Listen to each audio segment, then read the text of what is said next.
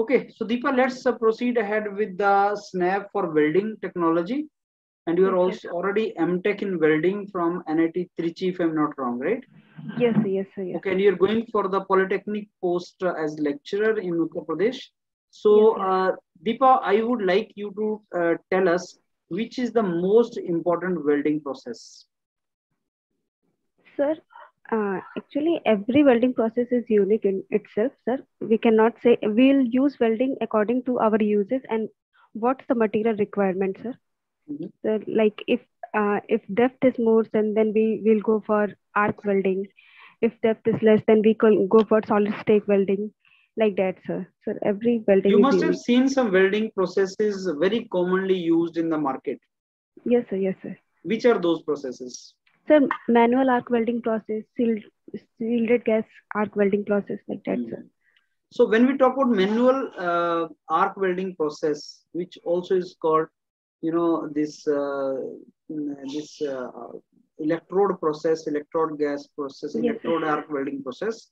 Yes, sir, So yes, uh, what kind of uh, voltage and current uh, values do we have? What is the parameters which are there in uh, arc welding? Sir, arc welding sir depends sir. Uh, like if we want, um actually voltage and uh, current parameter we decide according to our uses. If we Mhm. want sir um, depth of penetration is more, then we'll use for higher current. We'll go for higher current. If we want the, our bead should be wider, then we'll go for higher voltage, sir. Like that, sir. We'll take. You We'll, must have heard something about short circuit current and open circuit voltage. Yes, sir. Short circuit current when when the electrode wire touch to the base plate, sir, then the uh, then the then the sir, then the current uh, came that is called short circuit current. Because of that, sir, metal transfer take place, sir. And open value होता है normally short circuit current sorry, sir, I don't know. and open circuit voltage? Sir, sir, sorry, sir, sir, I don't know the data right now. I don't अच्छा। remember, sir. I missed every day. आपको ये welding में you know there are two kind of welding machine sources जो welding का आपका machines होता है उसमें दो तरह के करेक्टरिस्टिक होते हैं वोल्टेज करंट को लेके Yes, sir. Are you talking about flat? yes sir drop drop welding and sorry drop characteristic होता है flat characteristic होता है sir ड्रॉप नहीं होता तो ड्रूप होता है वो okay sir droop characteristic होता है sir sorry Drooping, sir हाँ। Sir flat character- characteristic basically क्या होता है? Constant voltage होता है sir. ओके सर इसमें क्या होता है कि सर ये सेल्फ एडजस्टेबल होता है सर आ, तो अगर हमारा अगर आर्क लेंथ होता है बेसिकली वोल्टेज क्या होता है? आर्क लेंथ के अकॉर्डिंग डिसाइड करते हैं। अगर आर्क लेंथ बढ़ता है तो वोल्टेज बढ़ता है। आर्क लेंथ घटता है तो वोल्टेज घटता है।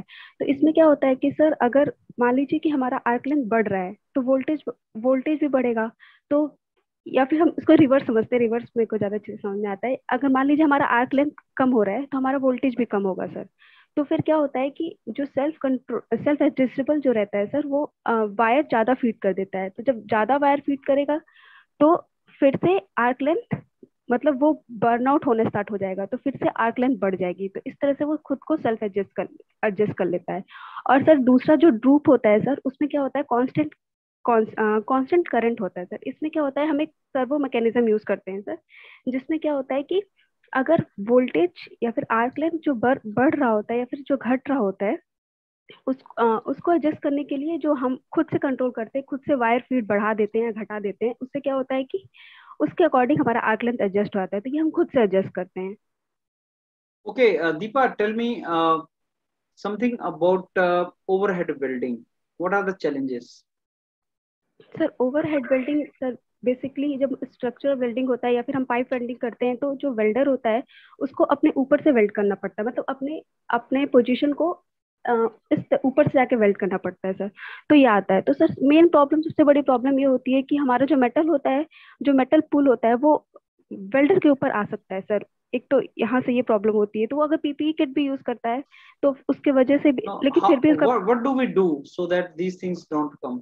कैसे करते हैं thread welding? हाँ सर तो हम क्या कर सकते हैं सर? पहले तो ओवरहेड बिल्डिंग के लिए सर हम अ, पहले तो हम क्या कर सकते हैं कि अपना जो मेटल ट्रांसफ़र कैसे कौन किस मोड में रखें ताकि मेटल का जो पूल बने वो वेल्डर के ऊपर ना आए। तो सर इसके लिए हम जा सकते हैं sir pulse pulse metal transfer की तरफ़ जा सकते हैं सर।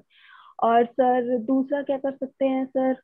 दूसरा हम स्पीड मतलब वेल्डिंग स्पीड को why do you add iron oxide in the flux sir iron oxide sir thermal welding से मैं बता सकती हूँ कि सर आयरन आता है उसमें तो फिर आयरन जब मेल्ट हो हाँ। फ्लक्स में आप एलोइंग एलिमेंट्स डालते हो। यस सर यस सर तो आयरन ऑक्साइड क्यों डालते हैं फ्लक्स के अंदर? एंड इसका रिलेशन ओवरहेड वेल्डिंग के साथ है। Sir iron oxide sir sorry sir sir ये देखना पड़ेगा सर अच्छा वेल्डिंग जो इलेक्ट्रोड है वेल्डिंग की सरफेस टेंशन को बढ़ाता है या कम करता है?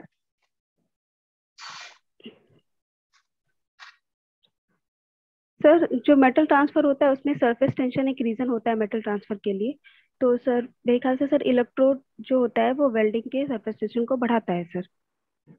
अगर सरफेस टेंशन बढ़ गई मोल्टन मेटल की तो वेल्डिंग अच्छी होगी कि खराब हो जाएगी? सरफेस टेंशन बढ़ गई गोल्डन मेटल की तो सर सर। कुछ फ्लक्स के मटेरियल्स के बारे में मेरे को बताओ। सर फ्लक्स डीऑक्सीडाइजर होता है। नहीं मटेरियल्स के नाम बताओ।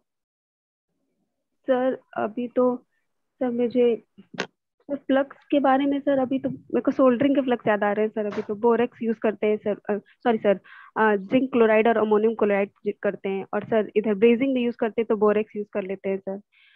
Sir sir maybe fast cooling के लिए हम यूज़ करते हैं सर आयरन ऑक्साइड को सर ओके okay. आप हीट इफेक्टेड जोन के बारे में क्या बता सकती हैं हमें? सर हीट इफेक्टेड जोन एक ऐसा जोन होता है जो कि बेस मेटल का एक ऐसा जोन होता है जो कि मेल्ट नहीं होता है लेकिन हाई टेम्परेचर के कारण अपने मेटलर्जिकल चेंजेस आती हैं उसमें सर ओके okay. कैसा बनता है मेटलर्जिकली वहाँ से? सर, वहाँ पे ग्रेन स्ट्रक्चर बढ़ जाता है। सर ग्रेन स्ट्रक्चर बढ़ जाने के कारण सर ब्रिटल जो ब्रिटल ब्रिटलनेस आ जाती है सर वहाँ पे स्ट्रक्चर में। या फिर सर, अगर कोई कोई अगर बेस मेटल है, अगर वो प्रेसिपिटेट हार्डनिंग है तो वहाँ पे प्रेसिपिटेशन स्टार्ट हो जाता है। इसकी वजह से अगर हम कई लोड डालते हैं तो वहाँ से फेलियर होने के चांसेस ज़्यादा रहते हैं as compare to welded area okay Deepa so tell me something about gas welding how it is different from arc welding आप कैसे डिसाइड करते हो कि आर्क वेल्डिंग नहीं करनी है अभी गैस वेल्डिंग करनी है? सर गैस वेल्डिंग के लिए सर अगर सर आर्क वेल्डिंग नहीं करनी है। सर इसका आंसर तो याद आ रहा है। लेकिन सर गैस वेल्डिंग क्या होती है मुझे पता है सर ओके okay, बताओ टेम्परेचर किसमें ज़्यादा है आर्क वेल्डिंग में या गैस वेल्डिंग में? सर गैस वेल्डिंग में ज़्यादा है सर बत्तीस सौ डिग्री सेल्सियस तक पहुँच जाता है श्योर आर्क वेल्डिंग में उससे कम है? यस सर यस सर मतलब आर्क वेल्डिंग में तो हम अपने मेटल के मेल्ट के हिसाब से अपना जो भी हम करंट और या फिर वोल्टेज देते हैं जितना पावर देते हैं अपने अपने अकॉर्डिंग देते हैं सर गैस में तो फिर वो उतना रहता ही है सर ओके प्लाज्मा किसको बोलते हैं? सर प्लाज्मा सर एक ये आयोनाइज हीट गैसेस होती है उसको बोलते हैं सर कहाँ पे यूज़ करते हैं plasma sir plasma arc welding में ही प्लाज्मा का यूज़ करते हैं सर हम्म और गैस कटिंग के बारे में कुछ बताओ। सर, गैस कटिंग और गैस वेल्डिंग ऑलमोस्ट एक ही होता है, लेकिन जो टिप दोनों का नो, जो दोनों की जो गन होती है, उसका जो नोजल होता है मतलब उसका जो टिप होता है, बस वही अलग होता है सर। सर, गैस कटिंग में सर क्या होता है कि हमारे पास पेरिफेरल पेरिफेरल होल्स भी होते हैं सर, जिसके थ्रू सर जिसके थ्रू न्यूट्रल गैसेस जाती हैं, जो कि किसी भी मेटल को पहले वो उसके किंडलिंग टेम्परेचर तक ले जाती हैं। उसके बाद हम एक कॉन्सेंट्रेटेड ऑक्साइड देते हैं, ताकि वो डीऑक्सीडाइज हो सके सर। तो यहाँ से हमारी कटिंग स्टार्ट हो जाती है। Okay let me give the feedback yes sir Deepa आपने एमटेक किया हुआ वेल्डिंग में right yes sir yes sir वो एक्सपेक्ट करेगा आपसे अच्छा नॉलेज yes, अगर आप yes, आपको ओपन सर्किट वोल्टेज 80 वोल्ट के आसपास होता है। यस सर मुझे याद था लेकिन मुझे 40 40 याद आ रहा था तो मैं सोची गलत 40 जो होता है वो नॉर्मल होता है वोल्टेज हाँ हाँ सर 40 वोल्ट होता है। अगर आप न्यूमेरिकल देखोगे तो उसमें वैल्यूज़ होती हैं सारी। हाँ हाँ सर हाँ सर हाँ sir number two gas welding में तीन हज़ार डिग्री सेंटीग्रेड होता है आर्क वेल्डिंग में छह हज़ार डिग्री सेंटीग्रेड होता है। Yes, sir, जिस कॉन्फिडेंस के साथ तुम बोल दिए वहाँ पे नंबर कट जाएँगे। मैंने दो दो बार पूछा आर श्योर जब वो बोलता है आर श्योर तो दोबारा सोचना है। वैसे नहीं बोलता। ओके सर सोचना है कि यार गड़बड़ तो नहीं है कहीं। आर्क वेल्डिंग में बहुत ज़्यादा टेम्परेचर होता है। Yes sir yes sir yes sir question का लेवल थोड़ा सा ज़्यादा पूछेगा प्रैक्टिकली पूछेगा yes sir yes sir yes sir वाले बच्चे से तो लेवल अलग पूछेगा। अब आपने एमटेक किया वो प्रेस्टिजियस वहाँ से किया। यस यस यस तो आपसे लेवल अच्छा होगा दीपा। तो अब आपको. क्वेश्चंस का आइडिया लग गया होगा। अब आप जाके इन क्वेश्चंस को लिखो जो मैंने पूछे आपसे। सरफेस टेंशन कम करनी पड़ती है स्टिकिंग बिहेवियर है। Yes, अगर सरफेस टेंशन बढ़ गई तो मर्क्यूरी की तरह स्टिक कैसे करेगा? Overhead sir. वेल्डिंग में आयरन ऑक्साइड डालते हैं कि सरफेस टेंशन उससे रिड्यूस होने के बाद वो स्टिक कर जाए।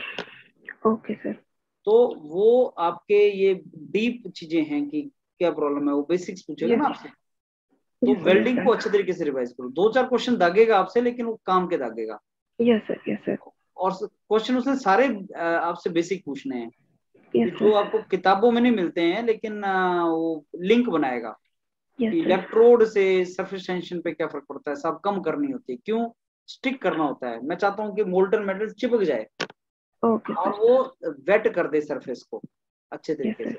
अगर वो चिपकेगा नहीं तो कैसे मोल्टन मेटल वो करेगा उसके साथ got the point. Yes, sir. Yes, sir. ऐसे तुम्हें दीपा अब मैं तुम्हें वेल्डिंग में अभी तक मैं तुम्हें हम्म। दस में से पाँच छह नंबर दूँगा तुम्हें सात आठ। नंबर चाहिए तो Okay, और खासकर जब एमटेक वेल्डिंग में है Yes, उसकी. एक्सपेक्टेशन बढ़ जाएगी Yes, हम्म? तो। एक बार रिवीजन मारो इसका सर लेकिन जैसे कि मैं ये बोल रही थी कि अभी तो अभी जैसे जो मैंने पढ़ा वो गेट गेट लेवल से पढ़ा जैसे जितना मैंने गेट में जब प्रिपरेशन किया था। तो सर अभी कुछ अलग बुक प्रेफर करूँ उसके लिए या फिर ऐसे मतलब क्वेश्चन पढ़ना तो वही होता है। दीपा ये सारी चीज़ें हमने पढ़ रखी है पहले। यस अब अगर मैं तुम्हें बताऊँ आर्क वेल्डिंग का टेम्परेचर तो तुमने पढ़ा होगा ये। ओपन सर्किट वोल्टेज तुमने पढ़ा होगा।